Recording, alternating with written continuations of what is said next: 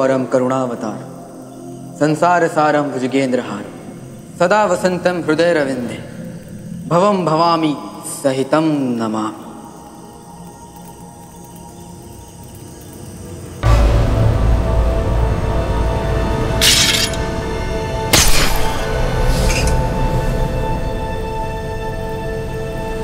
ये हमारी प्रतिज्ञा है कि जब तक स्वराज की स्थापना नहीं कर लेंगे न स्वयं चैन से बैठेंगे न शत्रुओं को बैठने देंगे।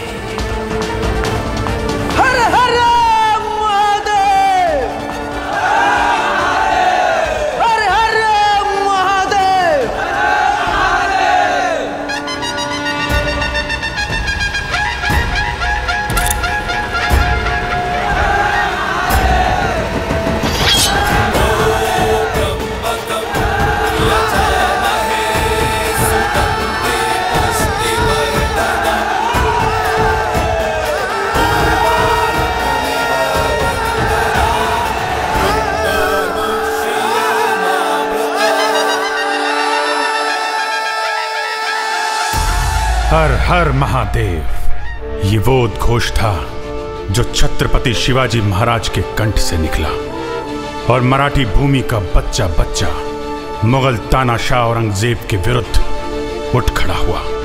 शिवाजी महाराज के संघर्ष के दो ही उद्देश्य थे, सम्मान और स्वराज।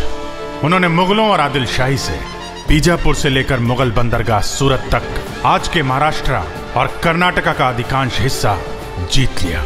और ऐसा लगने लगा जैसे स्वराज का स्वप्न सच हो जाएगा। पर 1680 में छत्रपति शिवाजी महाराज का देहांत हो गया। शिवाजी महाराज ने स्वतंत्रता की जो लौ जलाई थी, वो हवाओं में डगमगाने लगी। मुगलों ने फिर मराठियों से किले वापस छीनने शुरू कर दिए। और ऐसा लगने लगा कि छत्रपति शिवाजी महाराज के स्वराज का सपना सपना ही रह जाएगा। हर हर महादेव!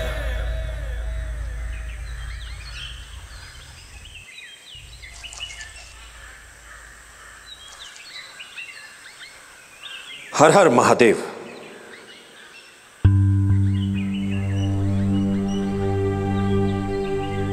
आज से पचपन साल पहले छत्रपति शिवाजी महाराज ने यहीं आपके समक्ष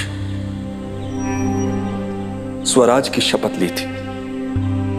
पर उस स्वराज को हम संभाल कर नहीं रख पाए। अपने स्वराज सम्मान, साहस तीनों को हम खो चुके हैं, महादेव। मिट्टी ही अपनी है। राज पर आया है। छत्रपति संभाजी राजे भोसले की औरंगज़ेब ने क्रूरता पूर्वक हत्या कर दी। उसके बाद हमारे महाराज राजा राम। उसी औरंगज़ेब के कारण अपने ही राज्य से निष्कासित होकर दर दर की ठोकरें खा रहे हैं। हमारी माँ के सीने पर शत्रुओं ने पाँव रखे माँ के इन बेटों की इतनी भी परीक्षा मत लीजिए, महादेव।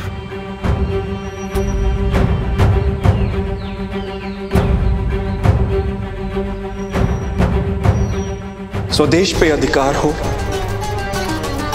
तब रक्त से श्रृंगार हो। शत्रुओं के मन में भय हो, उनमें हाहाकार हो। पाप है जीवन यदि। उसमें नहीं सम्मान है। है बेड़ियों में माँ बंधी। सबसे बड़ा अपमान है।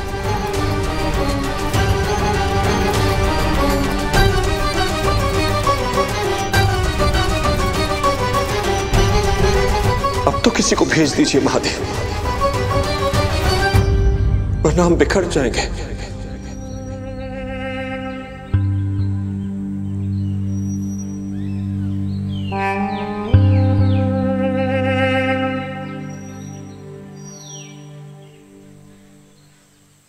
विपत्ति में व्यक्ति बिखर भी सकता है और निखर भी सकता है। अंतर है तो मात्र संकल्प का। मन में संकल्प होगा तो निखर जाएँगे। नहीं होगा तो बिखर जाएँगे।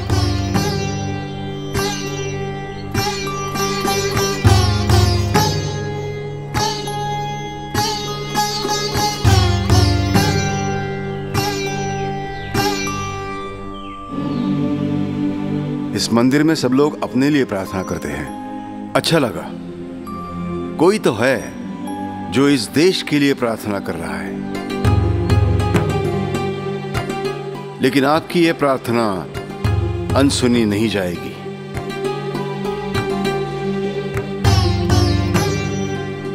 इस देश के भाग्य में जो अपने हाथों से स्वराज्य लिखेगा, वो आप ही का पुत्र होगा।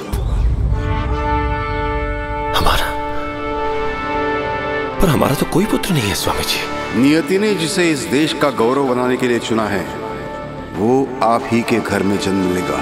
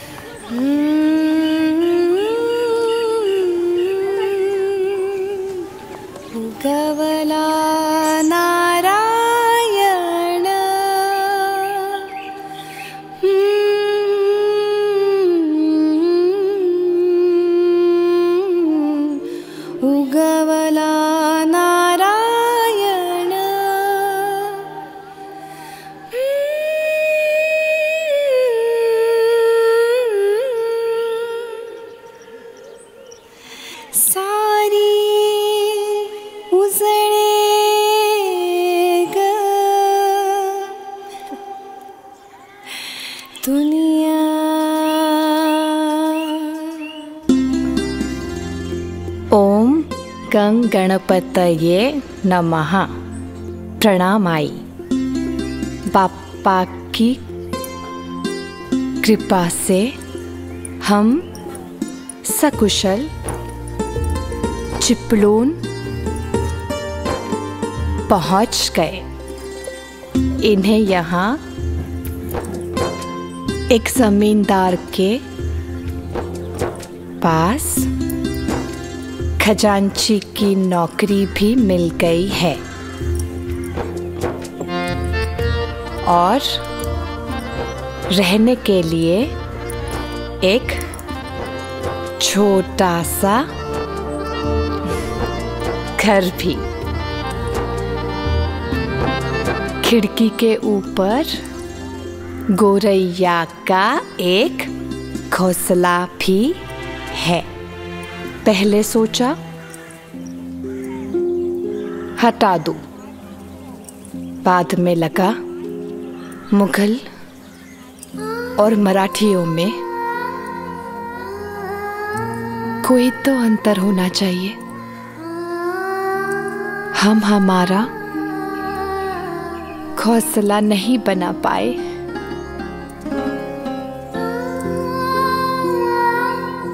क्या हुआ?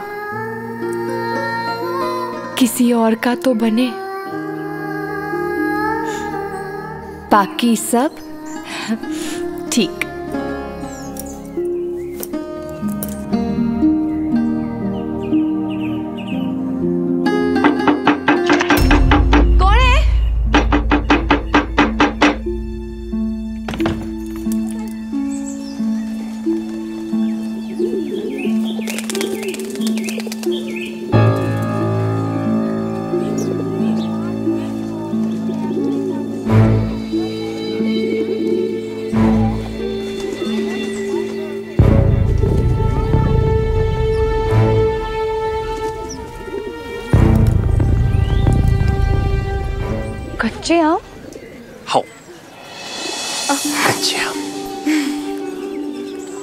शत्रु के दांत खट्टे करना छत्रपति शिवाजी महाराज ने सिखाया था। आपने नहीं? बर। तो ये टोकरी भी औरंगज़ेब को भिजवा दे? आम आपके टोकरी आपकी मर्ज़ी आपकी।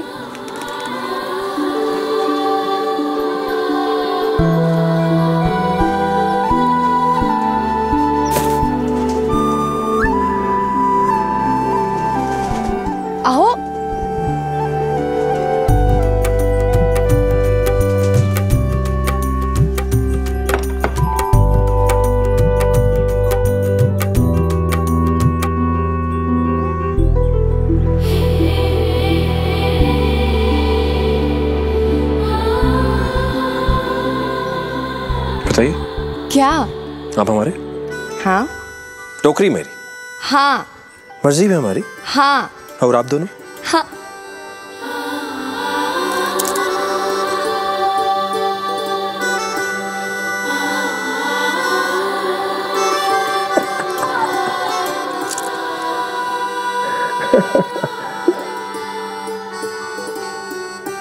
और हम दोनों भी आपके और आपको लगा कि आप हमें बताएँगे नहीं तो हमें पता नहीं चलेगा सरकार।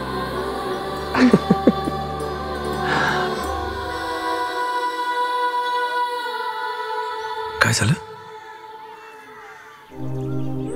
सोच रही थी मुगलों के आतंक से हम ही मारे मारे घूम रहे हैं। ऐसे में इसे अच्छा जीवन कैसे दे पाएँगे हम? आंधियों में दीपक जलाने निकले हैं डर तो लगेगा ही ना। आंधियों से दीपक डरा करते हैं, सूर्य नहीं। और आपकी कोख में हम मराठियों का सूर्य पल रहा है। सरकार, एक सिद्ध पुरुष ने भविष्यवाणी की है। हमारे घर में पुत्र जन्म लेगा और उसका भाग्य हमारे देश के भाग्य से जुड़ा होगा।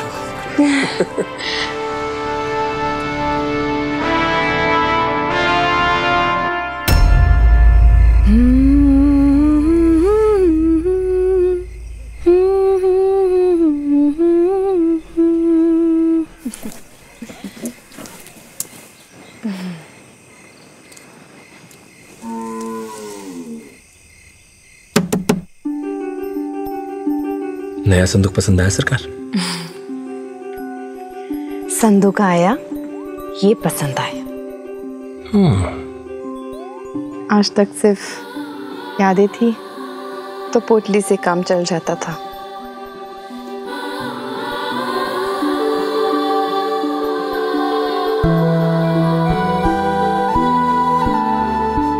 अब सपने भी हैं और सपनों को कभी पोटली में बंद नहीं किया करते। है ना? ओ चलो। परसों बाद ही सही हमें घर मिल ही गया। देवाची कृपा।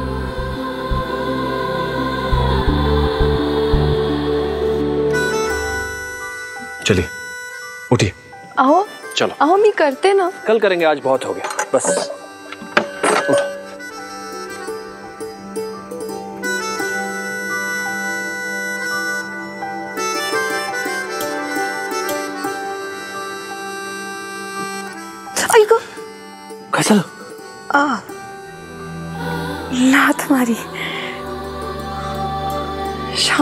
ऐसे ही कर रहा है। जैसे किसी पे गुस्सा आया हो। फिर से। की।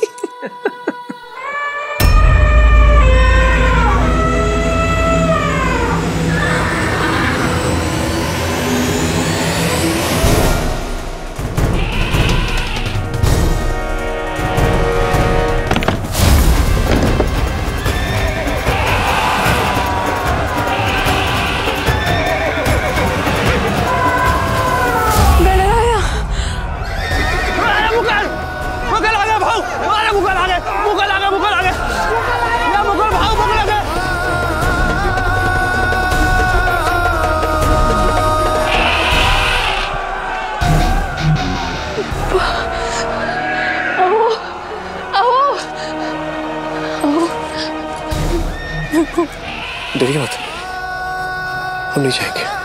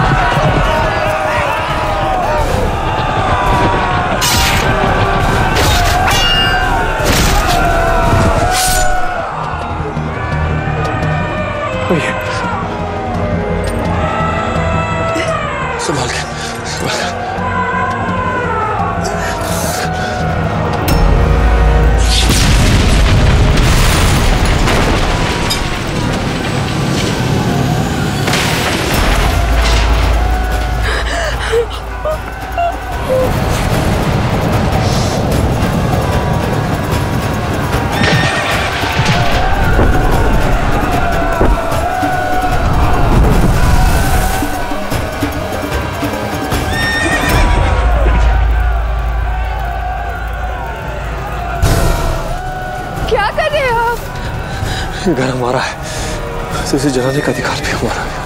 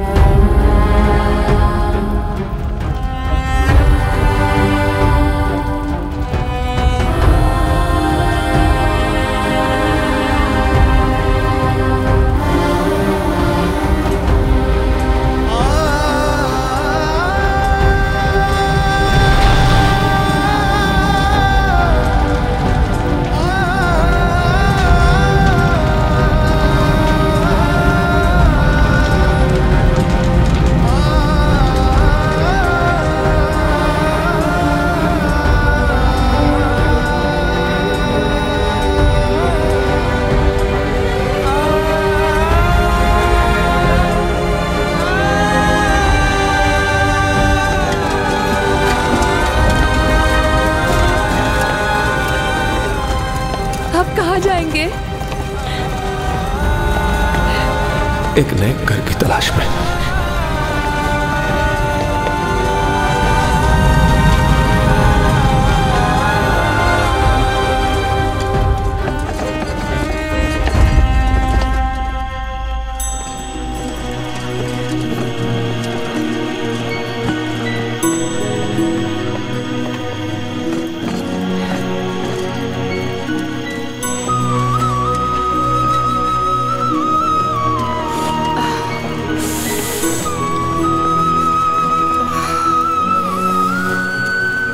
यही सोच रही है ना कि हमने मुगलों को चुनौती क्यों नहीं दी?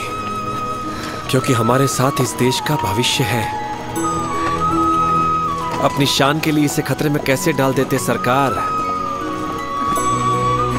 पीतल के लिए सोने को दांव पर नहीं लगाया जाता। हम पीछे हट गए, ये बात चुभ रही है। चुभ रही है? इतनी रणनीति तो मैं भी जानती हूँ। दुखी इसलिए नहीं हो कि हम भाग रहे एक घर का सपना देखा था। वो टूट गया तो दुख हो रहा है।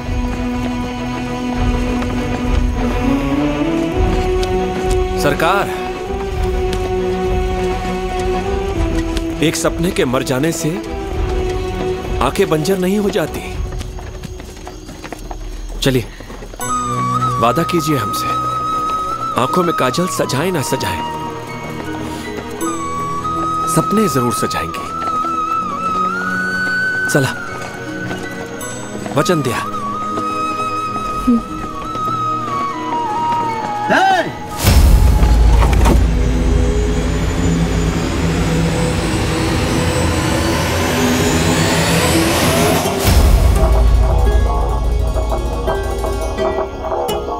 तुम्हें क्या लगा था कि तुम बचकर निकल जाओगे?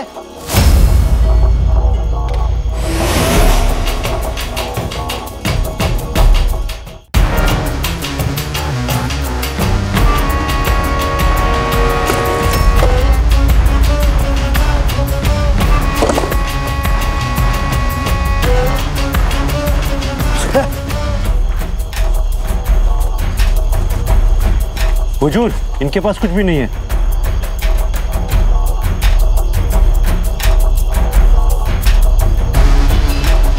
गहने लाओ। कोई हाथ नहीं लगेगा।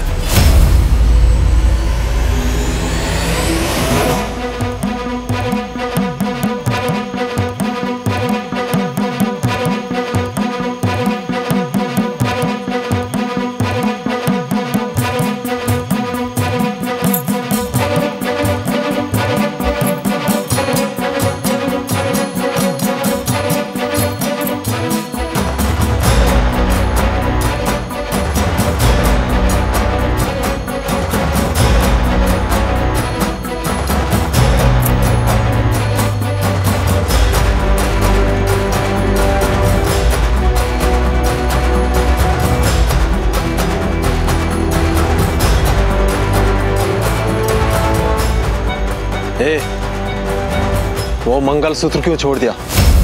उतारो उसे सब कुछ तो दे दिया है। मंगलसूत्र छोड़ दीजिए। ए ब्राह्मण तू रोकेगा मुझे? ब्राह्मण के हाथ में कलम होती है हथियार नहीं।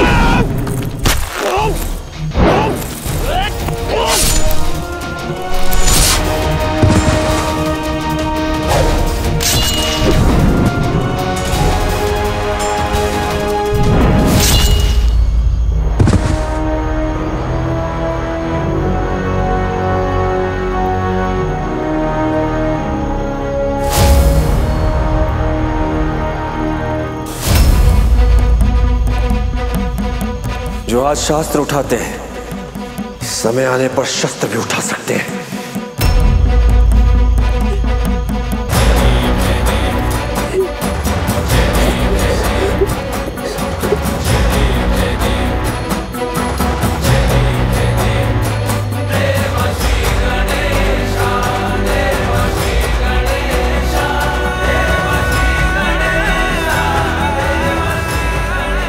बालाजी जैसे आम नागरिक अपने स्तर पर मुगल साम्राज्य का विरोध कर रहे थे। पर मराठा साम्राज्य के सभी पुरुष सरदार आपसी बैर में फंसे हुए थे। ऐसे में एक औरत औरंगज़ेब के विरुद्ध मराठी स्वाभिमान का झंडा लेकर खड़ी हुई और वो हैं छत्रपति शिवाजी महाराज की बहू, वर्तमान छत्रपति राजा राम जी की पहली पत्नी, एक योद्धा, एक रानी, ताराबाई।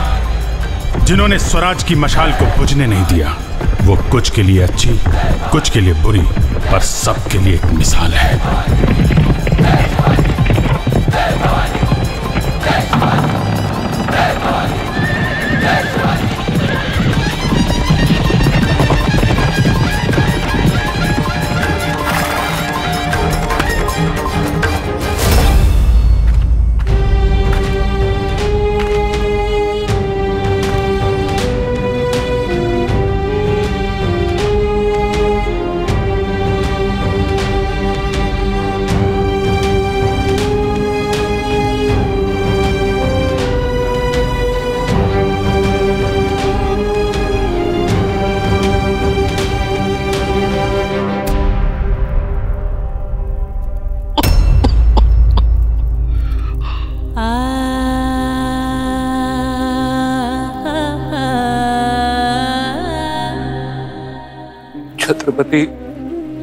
राजा राम महाराज के पास अधिक समय नहीं है। तारा रानी साहेब।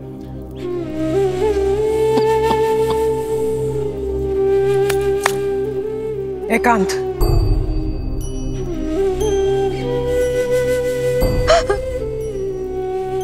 आप भी राजेश भाई साहब।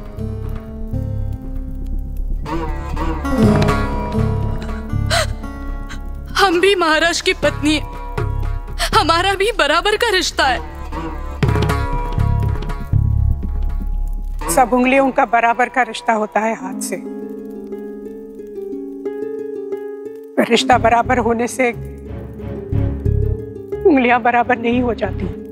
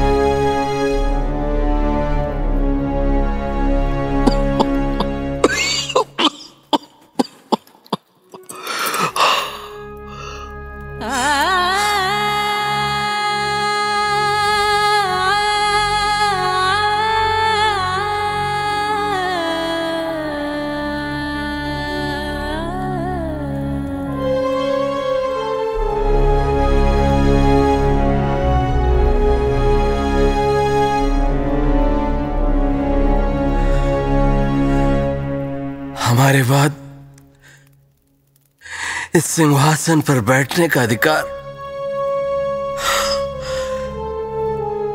हमारे भतीजे शाहू जी का है। हमारे भाई संभाजी की मृत्यु के बाद साहू जी को छत्रपति बनना था। हमको नहीं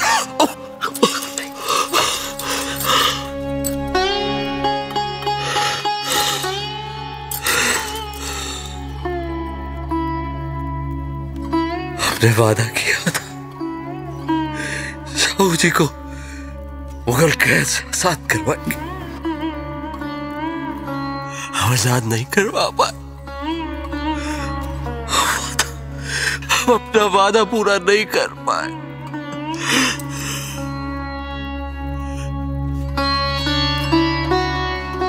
वचन आप ये वादा पूरा करेंगे। सिंहासन पर साहू जी को बिठा वचन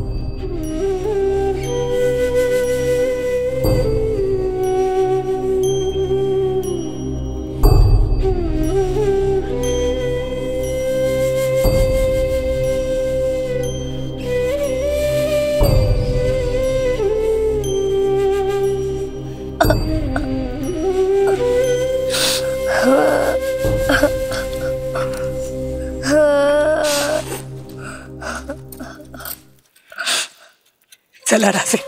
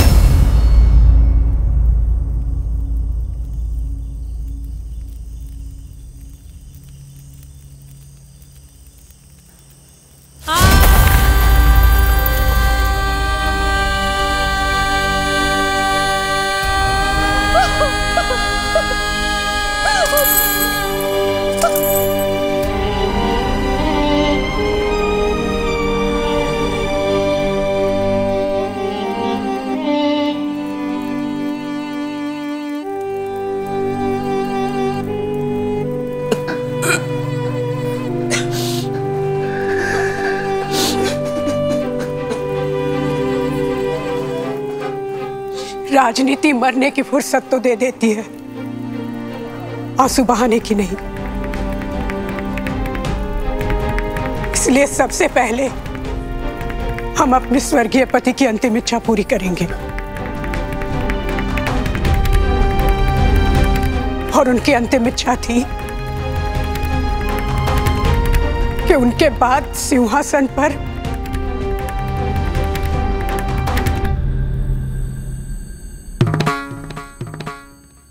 उनके बेटे शिवाराजे बैठेंगे।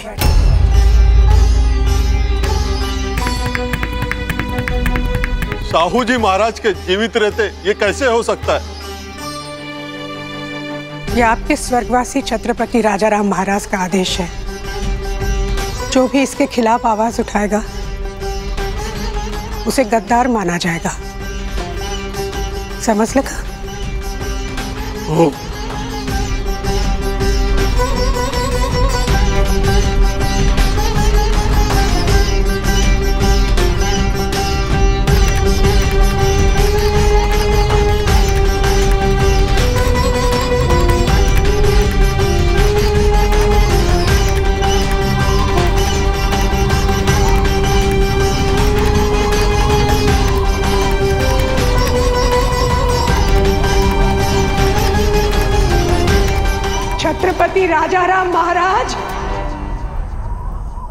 रहे।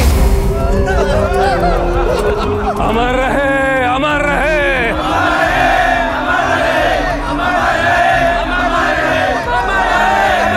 हमारे नए छत्रपति धाकले शिवा महाराज की। महाराज की।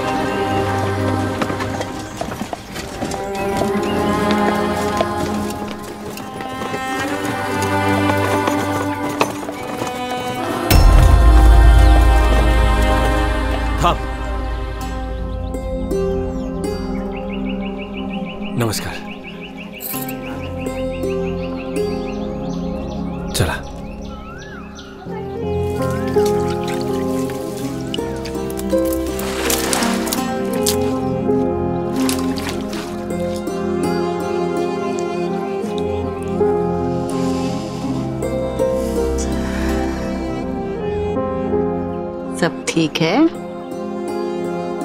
सब ठीक है आई। वो विठल काका है ना?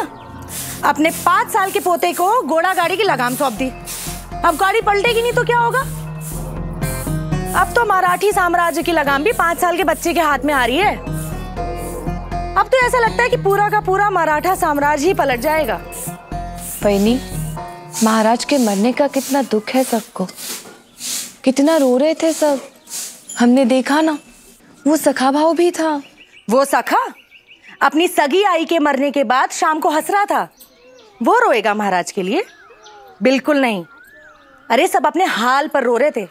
वो छत्रपति शिवाजी महाराज के जाने के बाद मराठियों को बांधने वाली वो एक जंजीर, अब तो रही नहीं। जो एक धागा बचा था, वो भी टूट गया। न जाने क्या होगा मराठी साम्राज्य का। रहेगा भी कि नहीं, पता नहीं। और ऐसे आपत्ति काल में आपको परिवार बढ़ाने की सूची।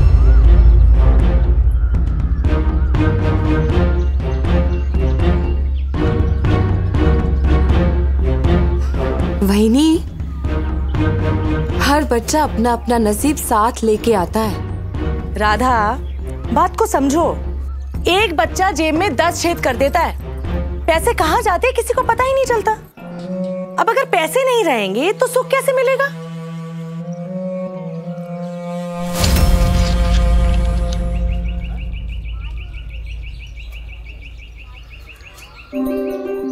पैसों से सिर्फ़ सुविधाएँ मिलती है।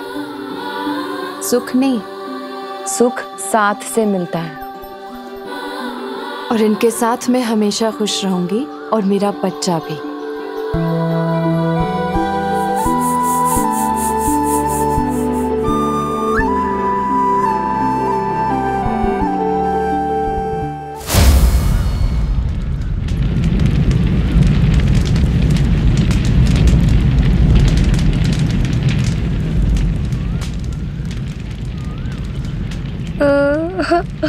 राजे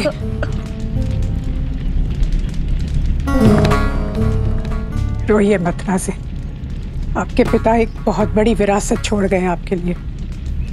आँखों में आँसू रहेंगे, विरासत धुंधली पड़ जाएगी।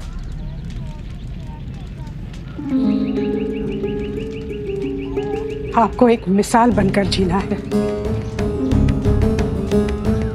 मिसाल बनकर। रानी साहेब साहेब हमें आपसे कुछ कहना है। बधीर एकांत।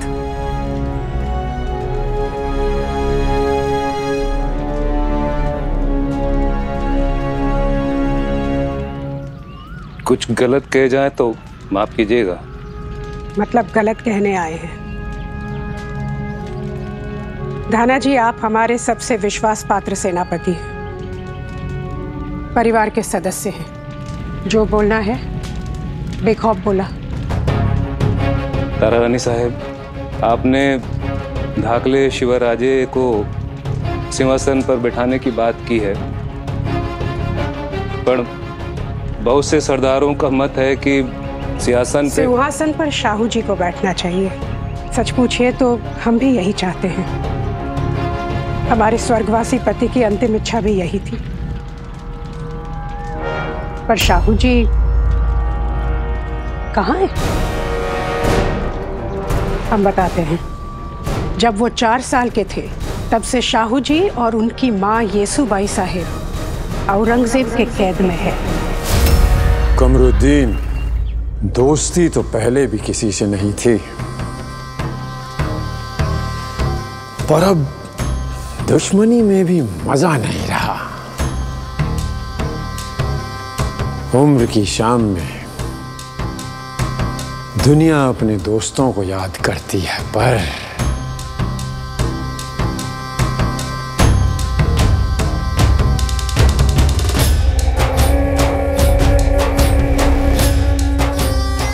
शहनशाहों के दोस्त कहाँ होते हैं? इसलिए बैठकर कुछ अज़ीज़ दुश्मनों को याद कर लेते हैं। छत्रपति शिवाजी महाराज थे, तब तक दो शेरों की जंग थी। पर अब एक पाँच साल का बच्चा और उसकी माँ से दुश्मनी।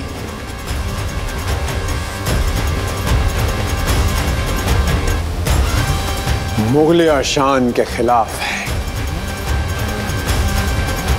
वैसे चाँद तो इसमें भी नहीं है कि मराठियों को खामोश रखने के लिए शाहू जी को कैद में रखा जाए। कम वक्त।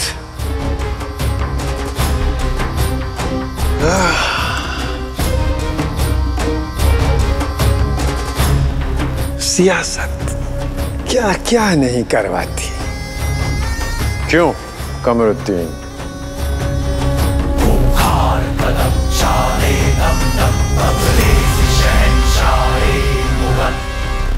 ग्यारह साल हो गए हैं उनको औरंगज़ेब के कब्जे में।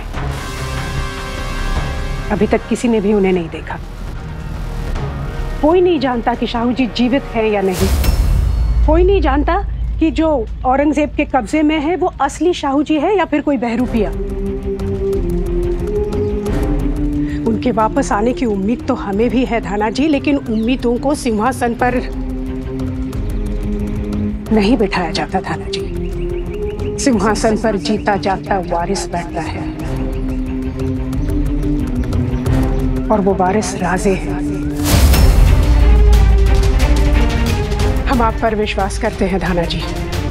अब आप भी हम पर विश्वास करिए। हम मराठाओं की डोर तब से संभाले हुए हैं, जब से हमारे स्वर्गीय पति को मुगलों के आतंक से अज्ञातवास में जाना पड़ा था। रानी साहेब, आपकी बात हम समझते हैं। पर शाहू जी के समर्थकों को हम कैसे समझाएँ? क्या कहें हम उनसे? सच कहिए। और पता कीजिए कि औरंगज़ेब के कैद में जो है, वो असली शाहू जी है या नहीं। पर जो भी करना है, जल्दी कीजिए। ढाकले शिवाराजे का राज तिलक ज़्यादा दिनों तक नहीं रोका जा सकता।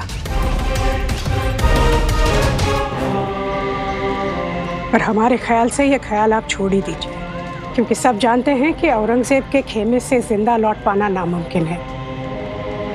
और आप सबके चेहरे भी वहाँ पहचाने हुए हैं। कोई जाने के लिए तैयार नहीं होगा। रानी साहब एक आदमी है। उनका चेहरा मुगलों ने नहीं देखा और उनमें ये काम करने की हिम्मत और चतुराई दोनों है।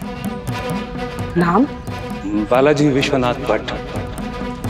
देखने में आम है, पर देखिएगा, काम खास कर जाएगा।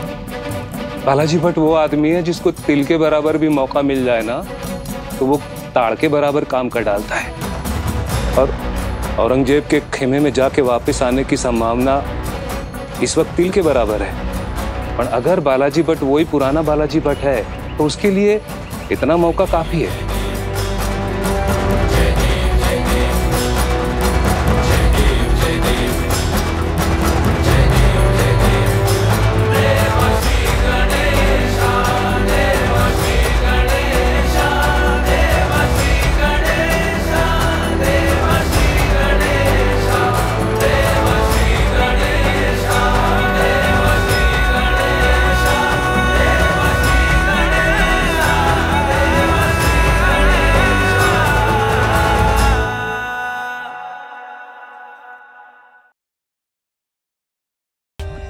For more updates, subscribe to our channel, click the show links and enjoy watching the videos.